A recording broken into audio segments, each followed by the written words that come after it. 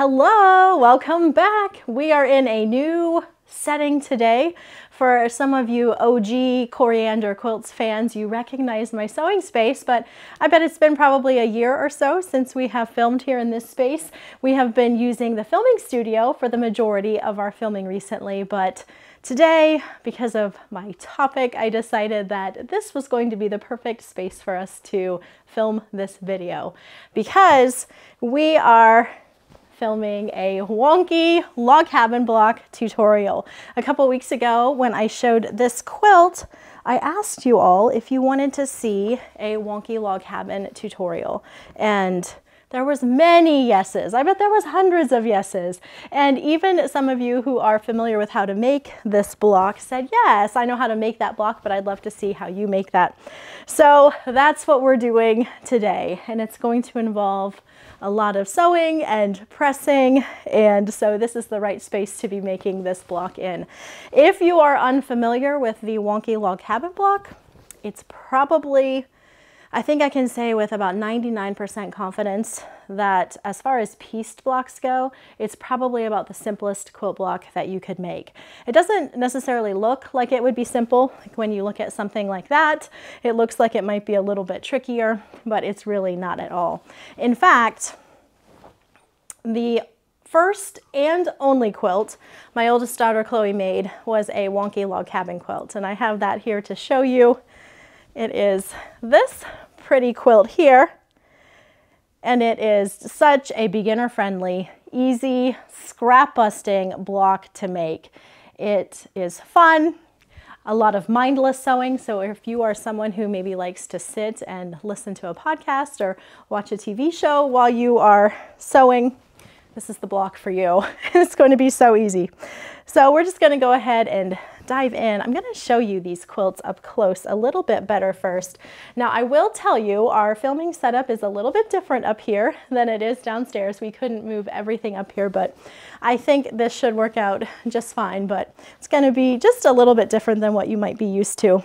But first, let's look at this brightly colored one. Now, with wonky log cabin blocks, you can start with whatever shaped center you want. So you'll see we have a several sided piece here that we started with. Um, over here, this one is a also several sided, but a little bit of a different shape. I know I saw a triangle. Well, here we go. We've got a, I think this is a trapezoid. it's been a little while since I've had to think about uh, names of shapes, but this little four-sided guy here and then we also have a triangle up here. So you can start with whatever shaped center you want, which makes this a lot of fun. For Chloe's quilt, she did all squares, but they are not um, perfectly sided squares in that the sides are a little slanty, a little crookedy, and that's how they are supposed to be for this block. You don't have to worry about being precise. You will still want to pay attention to your quarter inch seam allowance, but as far as angles, we don't have to worry if we're a little slanty and it just makes for a fun block. So that's a little bit more of how Chloe's quilt looks. And then one more quick peek at the really bright one here. Both constructed exactly the same. So what is that construction? Let's talk about that. You are going to want to begin with a variety of scraps. I have a bunch of coriander seeds scraps that I just pulled from. Um, this works great for jelly roll strips if you have a jelly roll. In fact, a lot of these strips are just leftover jelly roll strips. Uh, so pull some of those if you have those. Little teeny sashing strips. These are, let me measure these, one inch, an inch and a quarter sashing strips that were used in a project. These will be great. They do not need to be perfectly straight. So if you have strips that are a little crooked, that's fine. Grab those long strips, short strips, some narrower, some wider. You can choose whatever you want. Just grab from your scraps. I am going to make a couple of these blocks at a time. so that I can start with different shaped centers. So you can see how these go depending on what you choose. I like this little guy. This is the blue X print from Coriander Colors. These fabrics will be in quilt shops in June, so not too much longer. I'm gonna use these two. We'll see what we can do with those two as centers. And for one, let's just start with a square, but let's make him a little bit, a little bit less square. I'm gonna move those up a little bit so you can see those better. All right, let's go with something a little like so. Um, yeah, we'll just leave that just like that. And I want to do a triangle. Let's do a triangle for this one. We'll do a wide bottom triangle here. Again, these angles don't have to be anything specific. I'll start with as small or as large of an angle as you might want. So we have triangle and funny little rectangle. And then let's do one more with even more sides to it. Let's take this black here. Shove those up there. Let's just go. And you don't even have to use a ruler if you didn't want to. You technically could just sort of, okay, I'm not even going to try that because, because I start thinking about not using a ruler and things start to seem a little crazy. So I'm going to use a ruler. But if you are more confident in your non-ruler skills, you wouldn't have to. You could just sort of cut this up however you wanted to. I'm Gonna go like that. Let's take this out this way. This will be a scrap. We'll add up to our scraps and then I'm gonna take this, oh, we'll do like that.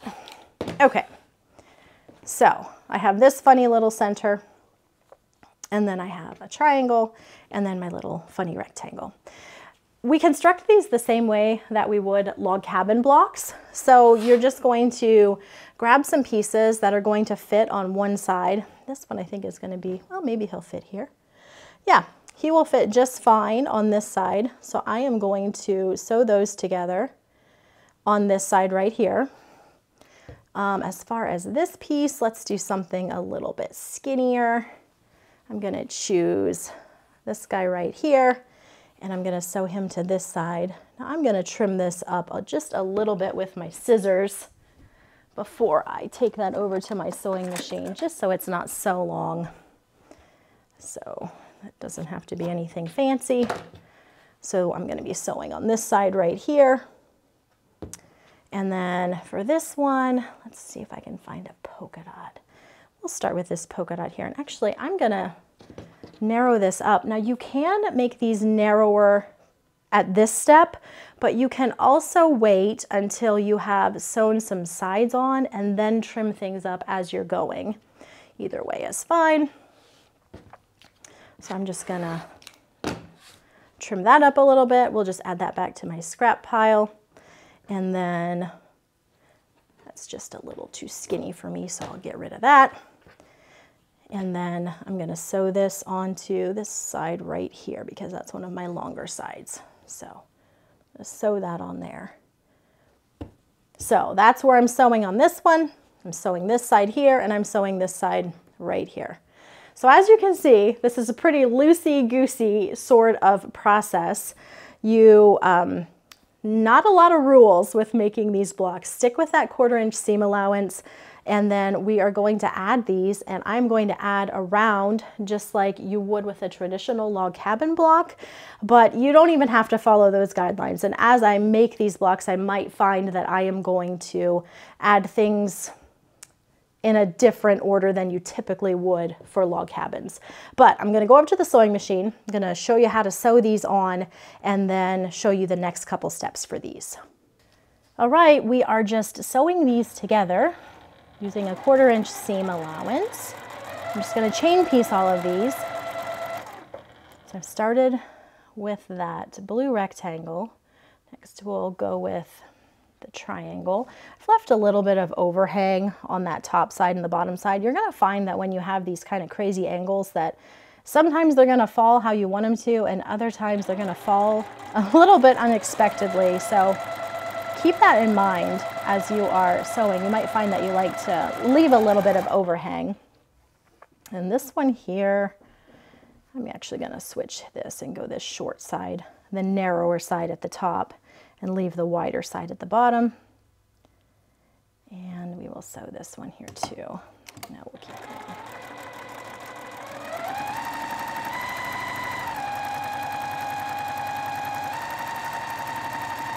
All right, I've got everything attached. The next thing that you're going to want to do is either go to your iron, which is what I'm going to do, and press everything away from the center on all of these sides. Or you could finger press, give them a real good finger press. Or if you have one of these handy little fabric rolling devices and you wanted to set something up beside your sewing machine, that would be a great option too. But you do want to give these a real nice press away from the center. My preference is always going to be a nice firm press with an iron, but uh, there, we do have other options. Now I am going to go over to my iron and I'm going to press all of these nicely and then show you the next step. This is what these pieces are going to look like after I have pressed everything. I'll flip them to the back so you can see what we are working with and then back to the front. The next step that we're going to want to do is trim up whichever side it is that we are going to want to sew onto next. So for this piece right here, I'm going to sew right here next. So I want to just get rid of this overhang and I'm just going to carry on this black line just as if it went up through the polka dots there. So something like this. But if you wanted to, you could adjust this angle um, differently. You wouldn't have to follow that black edge all the way up through, but that's what I'm gonna do. And then save that because you can probably use that as well. And then you're gonna be sewing onto this line right here. And I've got this little gray here. I'm gonna give him a quick press here and I'm going to sew this onto this piece here. I am not going to trim this up any differently at this point in time. And I'm going to sew it just like that. So that's ready to take to the sewing machine. We'll do the same thing for this piece. I'm going to sew onto the bottom next. So I'm going to trim this up here. That's just going to be a scrap we're going to throw away. And then I need a piece that will run along this edge Oh, this is a fun little stripe. It doesn't quite reach, but I'm going to use that anyways. But I am going to cut it a little bit smaller. Let's do something like that. Save that piece. And then I'm going to sew this one right about like that. These are going to be some happy, happy scrappy blocks, that's for sure.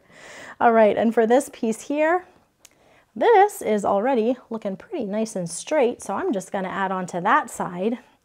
And what do we want here? Are you long enough? Yeah, so let's just go ahead and use that piece right there. That fits pretty nicely.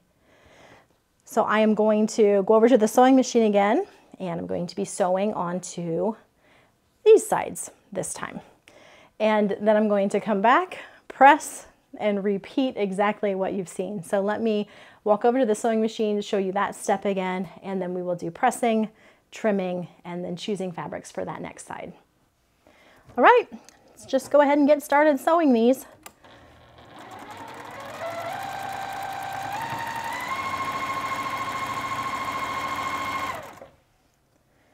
As I said, it's pretty mindless sewing. We don't have to match any seams. We really want to pay attention to the quarter inch seam allowance so that we don't get any unexpected narrow seams that don't work out. But aside from that, these blocks are, are nice and simple to sew together. All right, got that next side added onto all of these and I will go press them and show you what we're working with now. This is what we have now after everything has been pressed and we're ready to add on to the next side. I'm gonna start with this one here. And again, I'm gonna trim first, get a nice straight side to add on to. And let's add some orange here. I'm gonna choose this little guy here, trim that up. And I'm gonna add that right there. For this one here, let's make a nice straight line so that we can sew something right down on this side here. So I am going to move that over and trim this something, something like that so that I can add right there. So now I've got a nice straight line to add right here. And let's choose one of these little gray guys. Press that up a little bit. And trim just a hair. And then we'll add that onto that side. And then for this last one, this one's fun because really I could add on to any of the sides I wanted to. I'm gonna trim this right here. I don't wanna go too crazy on this angle, so I think I'm actually gonna do it about like this. One thing to think about as you are building these blocks is that we are aiming for something square. So you don't want to let your your shapes get too skewed that it becomes hard to get everything square. So kind of keep that in mind as you're choosing where you want to add your pieces. Uh, try to keep things kind of equal as you build, at least to some degree. Now for this one, I wanted to show you something fun that you can do. I have a piece, ah, here it is. So one thing that you can do is if you have small pieces that you want to sew together to make something longer, you can. So I sewed these two pieces together so I can add them in kind of a fun way like so. And I'm just gonna sew it right like that, actually. So those are going to go together like that. And this is a great way to use up some of those smaller pieces. You can just sew them into longer strips and just add them into your block wherever you would like to. These are now ready to be sewn and I will go over to the sewing machine and do just that. And now here is what these three look like. So this one, the center has been completely framed out and we're ready to continue adding round number two. And then these two, this one needs one more row to complete framing out the center. This one is gonna take just a couple more rows until we can frame this one out. So let's start with this one again.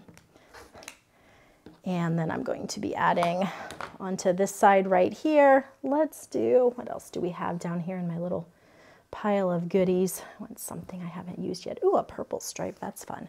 So let's go ahead and add that to that side. I am gonna trim that up just a little bit, like so. And again, you wouldn't have to trim at that step. I'm just opting to do so before I add the side on. So that one is ready to go. We need one more side for this one. Oh, maybe we'll do that red polka dot see what I've got here. Let's straighten this up a little bit.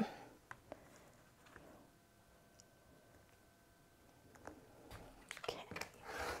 There we go. And then we will add this red polka dot. I don't want it to be too skinny, so I am going to add it like that right there. And then I will trim this up.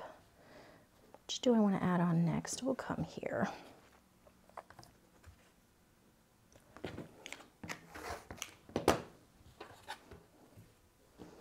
And what color shall we choose? Maybe some orange. That's fun. So we'll add orange here. Trim that up a little bit.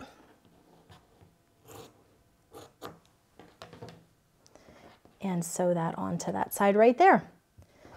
So I will sew those, press those, and then show you what we're working with at this point.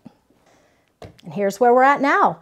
This one has been completely framed out around the center, as has this one, plus the first strip of the second round. We still have two more to go to frame out the center of this block here.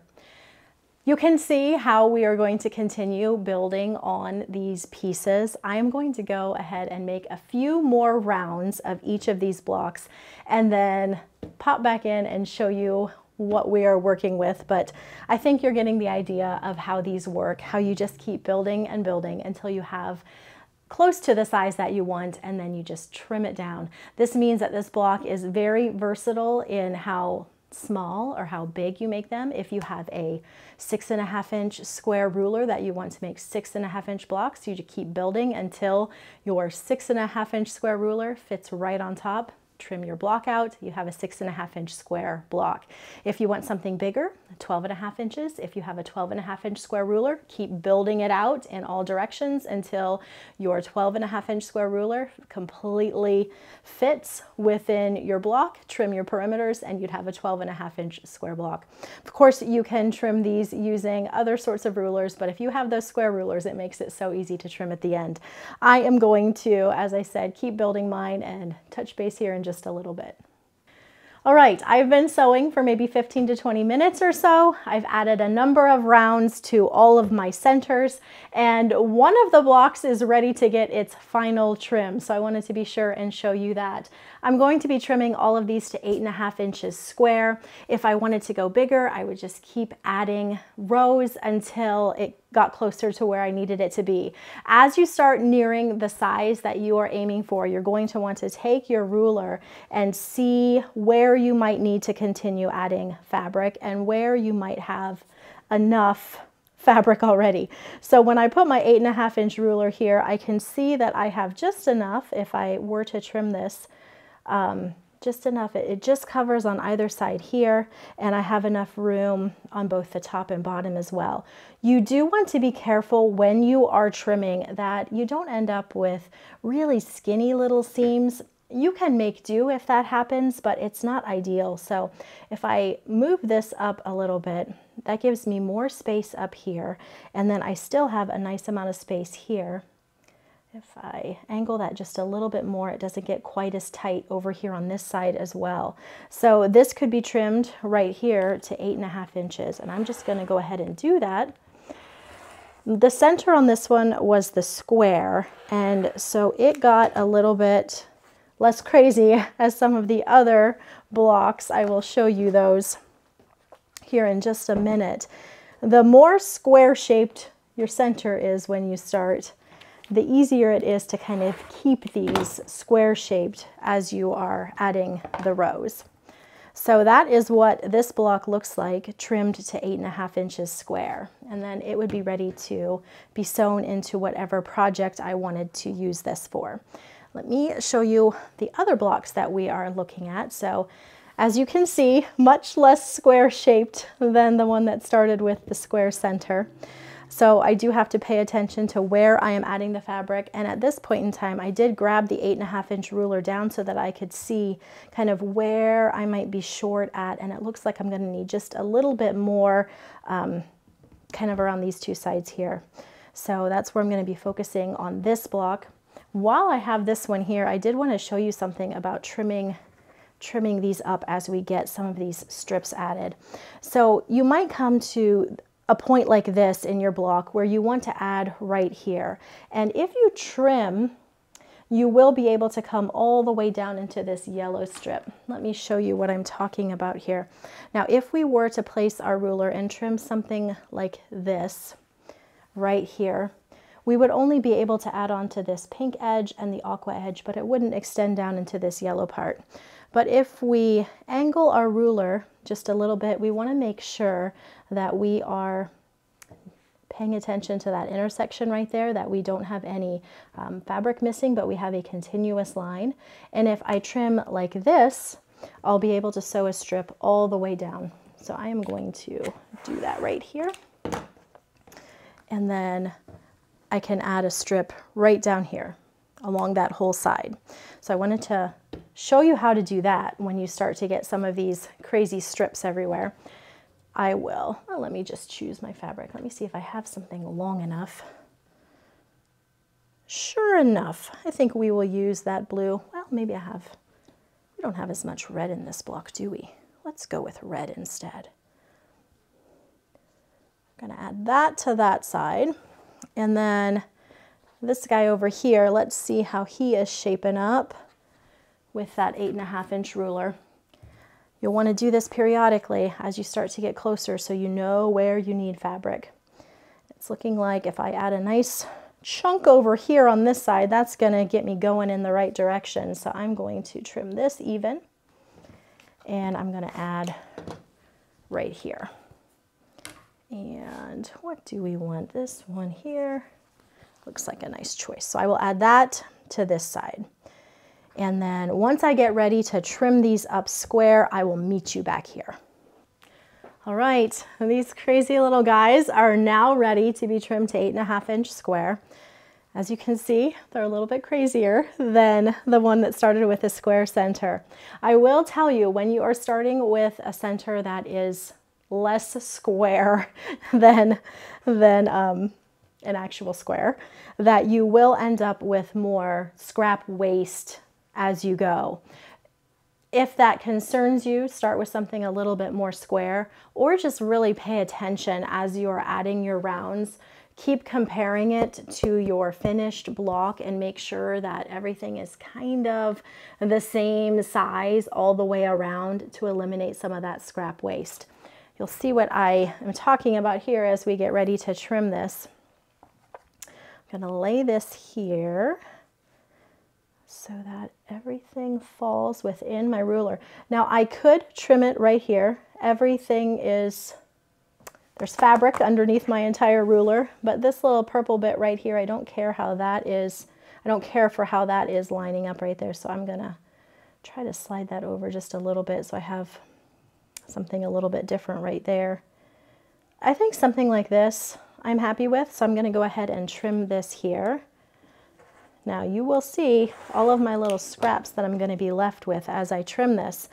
Save those. You can use those for more of these blocks. A lot of those pieces are very usable at, that, at this point in time. I'll trim the other two sides.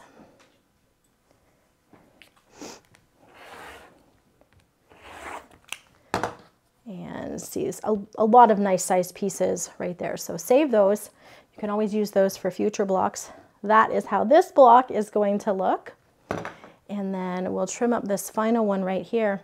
Now, some of you might be wondering, or maybe you hadn't even thought about it at all, about bias edges for these blocks, because I am not worrying about which way the fabric is running when I am trimming these. So some of these edges could be a little bit stretchier than other edges, so do be aware of that. Um, it's a pretty straightforward to go ahead and sew these into a block, so you shouldn't run into problems because we're trimming everything exactly um, eight and a half inches, so they're all gonna fit together really nicely. But do pay attention when you start sewing these together, if you're trimming them in this manner, that you're not doing a lot of stretching and tugging as you are assembling your quilt top or whatever project you might be making with them. Okay, I'm gonna go ahead and trim this one up yet see how this looks.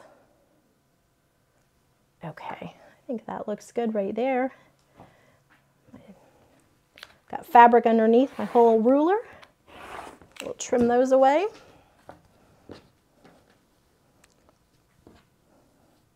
I have a Tigsy just out of sight of the camera. He's really considering jumping up onto my cutting board. We'll see if he makes an appearance or not checking things out behind me. He always likes a good fabric sniff. All right, so that is what this final block looks like right here. So you can see now what all of the blocks look like here. And then you could sew these into a table runner. These would make really fun pot holders. You can use them in a project of your choosing. You could continue making blocks and assemble them into a larger quilt. They do make beautiful quilts as you saw at the beginning of this video, Chloe's quilt, as well as the one that I just finished up a couple weeks ago. Super simple blocks, a lot of fun, mindless sewing. Sometimes it's fun to have these sorts of projects in and around some of the other projects that might require a little bit more thinking. So, oh, there he comes. We knew it was only a matter of time, didn't we? There he is. It's been really pretty in Ohio the last couple weeks. That iron is on, Tigsy. I don't know how close you want to get there. It's been really pretty here in Ohio, so he's been spending a lot of time outside. But he has graced us with his presence. And there he is.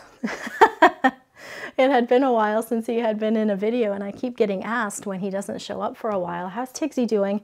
I try to make sure and post some pictures of him over on my blog so you at least get some photos of him here and there when he's out on his wilderness wanderings, but he just came inside just now. And so he is. This is a pretty typical thing for him to do when I'm working at my cutting table. He likes to make sure and sprawl in front of the whole thing, completely covering everything that I'm working on so that I really can't even attempt to keep going. But we were just wrapping up this video. So I think his timing was perfect.